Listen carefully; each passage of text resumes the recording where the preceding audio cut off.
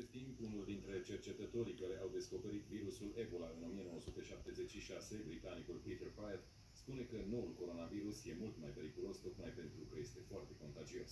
This is much, much worse than Ebola. Ebola requires very close contact for transmission, but it's because it's a respiratory uh, transmitted virus that makes it so worrisome. And it's very infectious because there's so much virus in the throat.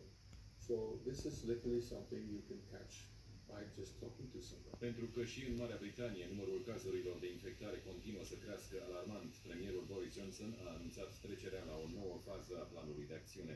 Guvernul le recomandă tuturor celor care prezintă simptome, fie ele și ușoare, să se izoleze timp de șapte zile. It is the worst public health crisis for a generation.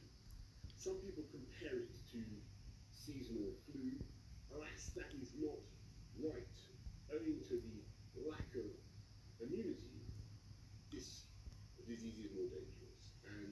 it's going to spread further. And I, more families, uh, many more families, are going to lose loved ones before their time. Dar în Regatul Unit încă nu au fost închise școlile și nici nu sunt interzise adunările publice. Uniunea Europeană a avertizat statele membre cu privire la restricțiile de călătorie impuse unilateral ca măsură împotriva răspândirii coronavirusului. Asta după ce Republica Cehă și Slovacia vecină au închis granițele pentru străini, cu excepția celor care au permis de rezidență.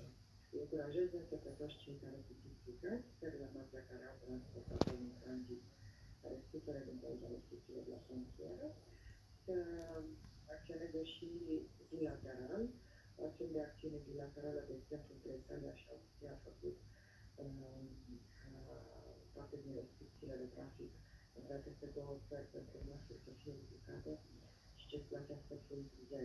Pandemia continuă să pună lacătul pe ușa principalelor atracții turistice din Europa. Sagrada Familia din Barcelona, muzeul